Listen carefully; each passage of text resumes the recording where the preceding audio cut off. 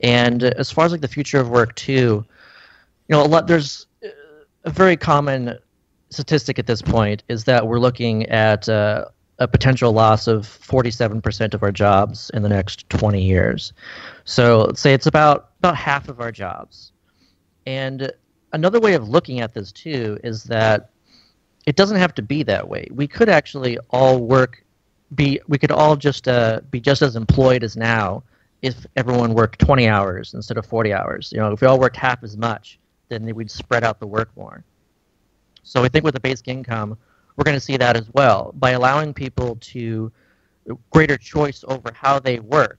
We're going to have people choosing not to work in the labor market. They'll be self-employed. There'll be entrepreneurs. There'll be volunteers. There'll be unpaid care workers, and that will free up the market as well. I mean, the other hand, you'll have people who do want to seek these uh, these jobs, and because of that, then they can actually choose to be like do more part-time work.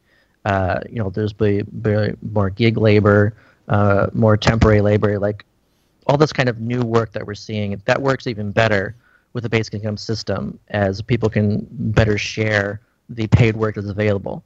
So that's really kind of a big part of this future as well, is that we're looking at all being able to work less and share the work better, and that we're also all able or better able to pursue the work that's most valuable to us, unpaid or not. And that's really what's interesting to think about is what kind of work people will choose to do even if it doesn't pay anything. Like how many people would start up a new startup? You know how, how many people would uh, decide to contribute to wikipedia more or to create something new other than wikipedia but like that where there's just so much like free uh, labor that's put into it that's actually incredibly valuable.